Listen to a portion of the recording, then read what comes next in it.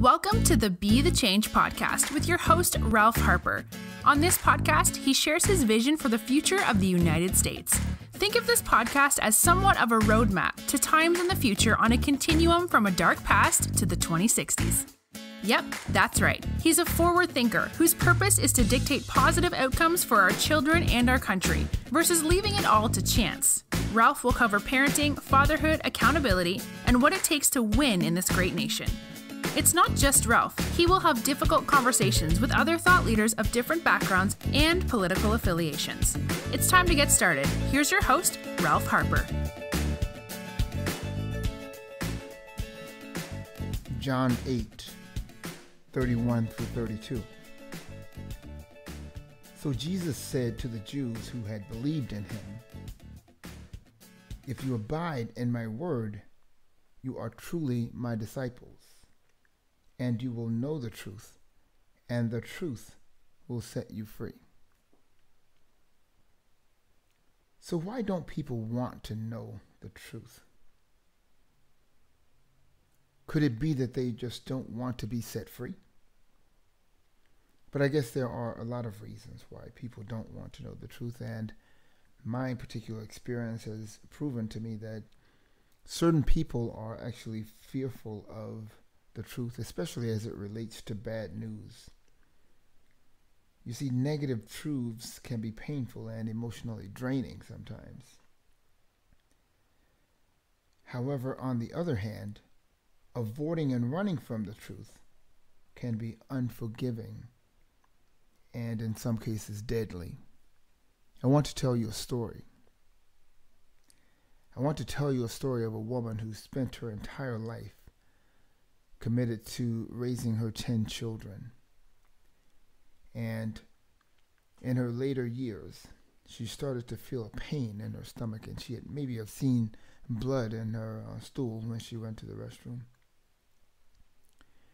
And for whatever reason, she seemed to make a conscious decision to ignore those warnings and those truths about what was happening to her body. She didn't want to go to the doctor to have anything confirmed. Again, she was fearful of knowing the truth about the possibility she might have cancer. She avoided that truth for so long that the cancer completely consumed her body. She died a very slow and painful, very painful death. I watched her. She was my mother. And I know in my heart that had my mother just made a conscious, a very conscious decision to go to the doctor and be screened and to have a colonoscopy, that she might be with us today. She might still be with us today. And unfortunately, my mother passed away when she was just 62 years young. 62 years young. And she died from a disease that is almost 100% curable if you just catch it early and do the right things. But sometimes people are just fearful of knowing the truth and the consequence of running away from the truth can be deadly. I want to share another story with you, which is a little bit different from the one I just talked about. And I've told the story before, but it's it's very com- compelling to me because, um, again, it's one of those situations where you know, when you have an opportunity to do something about uh, your health by simply knowing what's going on with you, then you should do it. So I recall sitting in my office in Addison, and um, and over the course of several months, I had had this cough, and I would cough a lot, and and one day I was in my office and I was, I was coughing so badly that um, one of my employees came in. Her name is Lenore she came into my office. She says, "Wow, are you okay?"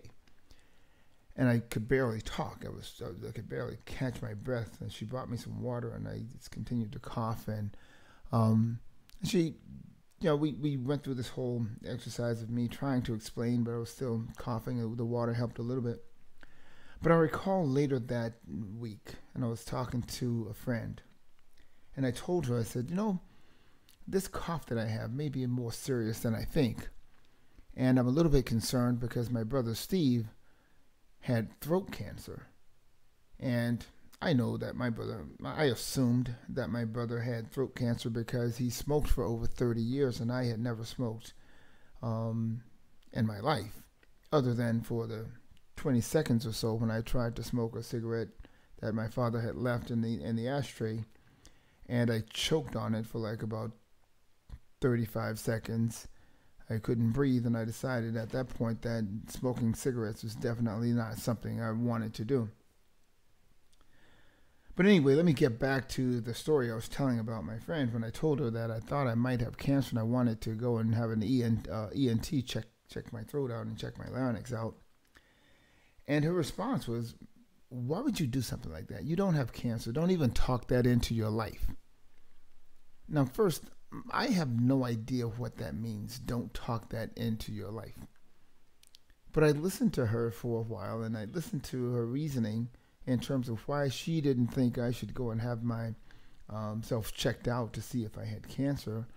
Um, but then, you know, I, I thought about it and I, I decided on my own that this was important to me.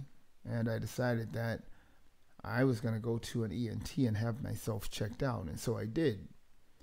And when I did, they took this tube and they went down, the scope went down my nose and they checked me out and checked my larynx out. And there it was. The doctor found a couple of polyps on my larynx. And he came back to me with the news. He's like, wow, you know what? I think you should see a specialist about this. And um, he says, I don't think it's anything serious. It doesn't look that serious to me, but I think you do need to see a specialist. And he gave me the doctor's name. Her name is Dr. Alvisio. And so I scheduled an appointment. I went to see her, and um, they did a biopsy initially and um, decided that um, they wanted to um, to do to perform surgery. Well, as it turned out, they performed the surgery, and uh, the first one, and it turned out the cells were precancerous. Six weeks later, I went back for my follow up, and uh, apparently she didn't get it all out. So she gave me the news again that I had to have a second uh, surgery, and it came back with the same result um, these cells were precancerous. And I'm I'm completely dumbfounded because first of all, the first surgery was was not fun to go through, and I couldn't talk for several months. And if you know me, uh, all of my friends know that I like to talk. So when I had the second surgery, I had to go through this. But I tell these stories because this is really important. Because had I listened to my friend, had I made a conscious choice to listen to my friend and not go get checked out at all, then I might have found myself in the same predicament that my brother is in. My brother had to go through several rounds of chemo and radiation to cure his cancer. He's been cancer free for several years, but the treatment caused him um, uh, a lot of problems and his esophagus is swollen up on the inside and, and he can barely breathe and they had to put a trach in his throat. And the only way that he can speak is by covering that hole up in his throat to talk. This is this is so important to me because when we have opportunities to listen and just know the truth then we have an opportunity to do something about that truth. You see, I'm not a I'm not a perfect person. But I always try to tell the truth, and I don't have a 100% track record in that regard. But I try to tell the truth. I try to be truthful. And most of you know I write, and I write a lot, and I have a lot to say on different uh, social media platforms. I've written a couple of books. So I have a lot to say, and I like to to to, to write what I have to say down. And people challenge me often because of some some of my views and some of the things I write. One common thing that I get from a lot of my uh, Black American um, friends, people who I love, and, and they, they're like family to me in some cases. But they ask me, why do you always have to air our dirty laundry?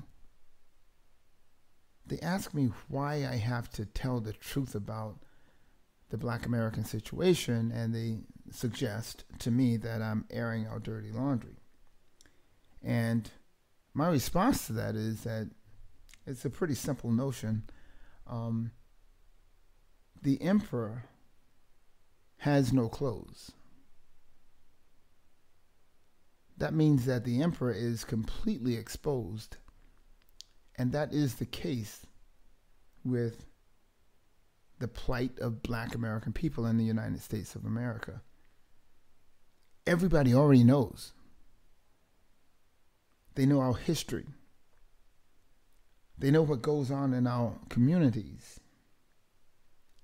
They know our particular situations. All of it, all of it, the complete picture is exposed. There are a lot of data points that outline and tell truths about black American people and our comportment and our experiences in the United States of America. There are no secrets in this regard. It's just out there and everybody knows. And I guess the point that I'm trying to make is that we have to stop pretending that no one knows but us. Everybody knows.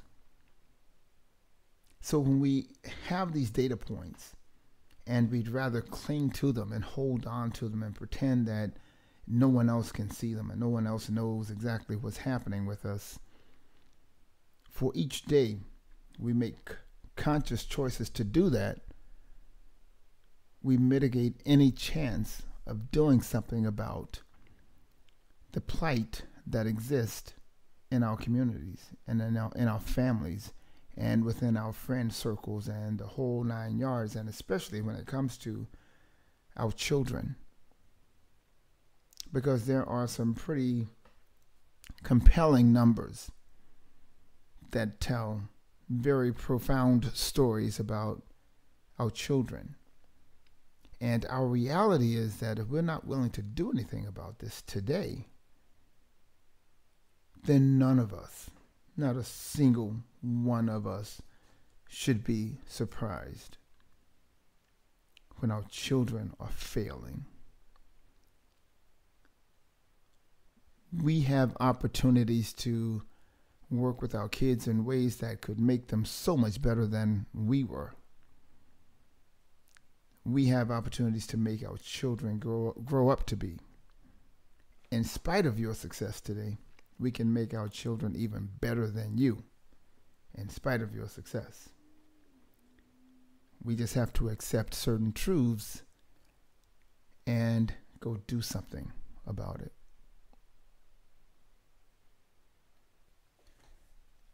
Now, I know I've, I've talked about this several times, and if you've listened to any of my podcasts, you have heard me mention these facts. Um, the fact is that in the United States of America, approximately 32 million adults are illiterate. Black American people represent a pretty significant piece of that number. But let me be clear about something.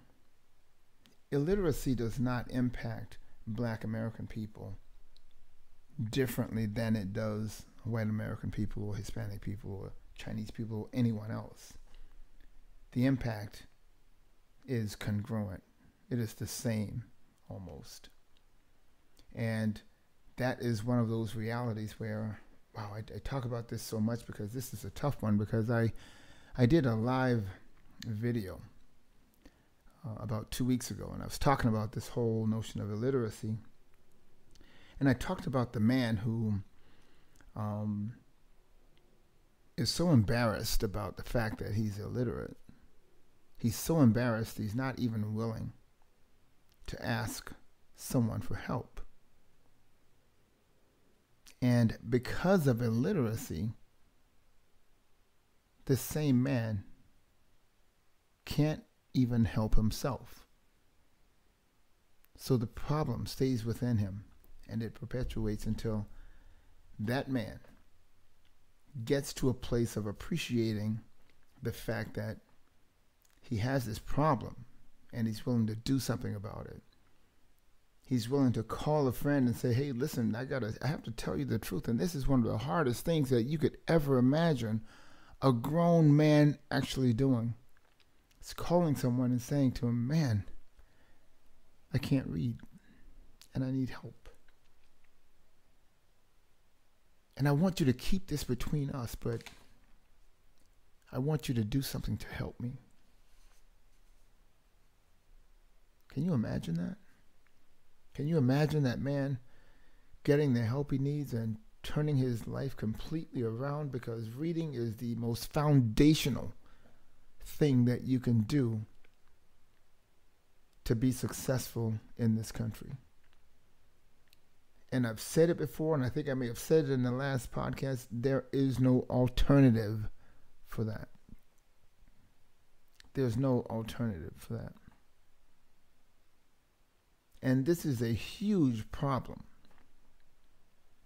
in the black American community. And as long as we're not willing to talk about it, then I can tell you unequivocally we will not do a damn thing about it. We have to talk about it. We don't have a choice. Someone's got to say something in order for someone else or somebody to do something. This is real. This is a foundational problem that needs to be addressed, and it may be something that has been driven down. And I've said this before. I believe a lot of things that sometimes we experience has been driven down through the whole slave experience. But either way, this is something that needs to be addressed. And until we make conscious choices to say, hey, listen, you know what? We can fix this. And when we do, we can see the benefits of that on the back end because some of these other statistics are pretty compelling as well. And it's interesting because, again, this is not just a black thing. Even when you hear some of the national numbers, you have to think, wow, that, th- those aren't good numbers, actually. So let's talk about this for a second. When it comes to fourth grade reading, only 18% of black Americans are proficient in reading at the fourth grade level. With math, black Americans are 19% proficient. That means that 19% of black Americans are proficient at the fourth grade math level. Let's take it up a notch and go to the eighth grade. Black Americans in the eighth grade are 16% proficient in reading. When it comes to math, black American kids, eighth graders, only 13% of them are proficient in math. But let's stop for a second because I want to share some interesting numbers with you uh, regarding the national averages. And this is not exciting news at all. I mean, think about this. The national average fourth grade reading, only 36% of fourth graders are proficient in reading. And when it comes to the fourth grade regarding math, only 40% of them are proficient in fourth grade math eighth grade. National numbers. Only 34% of eighth graders, this is all inclusive again because it's a national average, are proficient in eighth grade reading, and 40% of eighth graders are proficient in math. So if any of you are interested in interested in the source of these numbers, please feel free to go to ralphharper.com under um, my uh, podcasts. And I think that data is sitting out there and available for you to either drop down as a PDF or something like that, but definitely you can read it there. But I, I wanted to share these numbers because these are the kinds of numbers that really should create some level of a sense of urgency for us to do something especially when it comes to our kids, and mostly when it comes to our kids. It's it's really hard to to read these numbers and to just anyone who's um, capable of just knowing the value of reading and knowing the value of, of just being educated and and man you got to look at those numbers and, and you it's it's easy to imagine that if kids continue to fall short in these areas especially related to to reading it's going to be hard for them to find work. It's going to be hard for them to just exist uh, in this country and wow, when you know these numbers and we, we obviously, just by knowing we have an opportunity to do something to, to, to uh, provide some kind of solution to it, um, when we sit back and we decide and make conscious choices not to do anything about it, then then I suggest uh, anyone who's willing to do that is is complicit in this little problem we have. And what I mean by that is that you know you're you you're somewhat accountable when you know that it's a problem and you're not doing anything about it. I mean, yesterday I was uh, at the store and um, I saw a police officer, and he was standing outside a car, and it was weird for me because I saw this this this man. He's standing outside the car and he's laughing. Um, I'm not used to police officers just laughing and joking around with. Um, with adults when they stop them. They're usually very serious. But this police officer was standing there and joking around, and I looked closely, and there were two little children in the back seat of the car. And he was joking and laughing with these kids, and I don't know what he was saying to them that made made them laugh so much, and I don't, I have no idea what they were saying to him that made him burst out laughing, and he was laughing loudly, and it was it was just funny to watch. And then I realized someone had left those damn kids in the car. It was almost a hundred degrees yesterday. Had someone not called the police, those kids might have died, and they wouldn't have had a chance to joke around with that police officer or go home with their mother that day. So, what I'm suggesting is that police officer knew what was going on there. Someone else in the parking lot knew what was going on there. They knew that was a problem to have a kid sitting in the back seat of a car when it's 100 degrees outside and the windows are rolled up because children die that way a lot, and they die that way a lot in the state of Texas. My point is that someone made a conscious decision to do something about those kids in that car, and it saved their lives. So again, I use that analogy and that truth, that story, to, just, just be honest about the fact that, hey, listen, I'm giving you data points today about situations in the black American community and in other communities around the country that has to do with illiteracy and it has to do with education and it has to do with working in our country. And I'm saying, wow, we have to start doing better at placing the right level of focus on this and doing it in a way that is strategic and broad reaching so that we can eradicate illiteracy in this country. And I know sometimes people are willing to sit back and say, oh, "Well, that's not that's not possible." But I can tell you right now, when we start our kids out reading at age three years old, you have no idea what the possibilities are. But if we sit idly by, the way we do sometimes now, knowing our kids can't read, we know exactly what that outcome looks like, and it doesn't have to be that way for each minute that we don't do anything, then we are complicit in the outcome of this dilemma. So I'm coming to you today again to plead with you. I've, I've written a whole book about a lot of things we could be doing with our kids because this is something that's very important to me. And um, I wrote this book knowing with absolute certainty that this is not something I can solve on my own I wrote that book knowing that I need people to come on board to place more focus on this issue.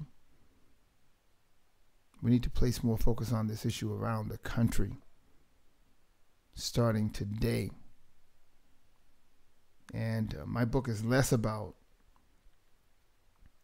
selling books, it's more about getting a message to our kids and getting a message to parents and other adults who have influence over children so we can get them the right message. Starting at age three years old, I'll say it again, our children should be learning to read because when they do that, by the time they're eight years old, they're reading because they absolutely want to read and they enjoy it. And I can tell you, I can tell you that when we get this right, you will see the outcomes. You will see the outcomes very prominently displayed across generations. It will be an amazing thing to witness 20 years from now, 30 years from now, 40 years from now, 50 years from now. And these same children and their children and their children's children will have been impacted by them reading early in their lives. So, like I said in my live video a couple of weeks ago, in this day and age, there is absolutely no particular reason why a child should grow up and become an adult and be illiterate. It just it just shouldn't happen. And I know, I know if if any parents are listening to this, I know that you do not want your child to grow up illiterate. You do not want your child to grow up uneducated. You do not want your child to grow up to be an adult unemployed. You do not want your child to grow up being unaccountable for his or her choices. You do not want your child to grow up just being completely disrespectful you don't want your child to grow up having not done anything to serve anybody or to support anyone else. You don't want your child to grow up and not be successful and not be prosperous. These are the kinds of values that we need to continue to instill in our kids. And until we start getting it right, then most of us already know. We already know what the outcomes will be because many of us, including me, we've already already experienced it. We've already experienced it. A lot of us have grown up and we've lived our lives the hard way, learning as we went along. We can't keep missing opportunities to give our kids the answers up front. We have an accountability to do that. Give our kids the answers up front so that they don't have to go through the roller coaster ride that we went through, just figuring it out on our own. I know there are a lot of people out there like me who are, you have to be agreeing with me because I know there are a lot of folks out there who have gone through this and they know that had they done things differently as a child, their lives would have turned out much better. And I say that I say that in spite of the fact that there are certain people who are very successful. They have matriculated through college and gotten their master's degrees and they've worked in fortune companies. But I tell you, there are millions of people out there who would be willing to admit to admit, well, they learn things the hard way.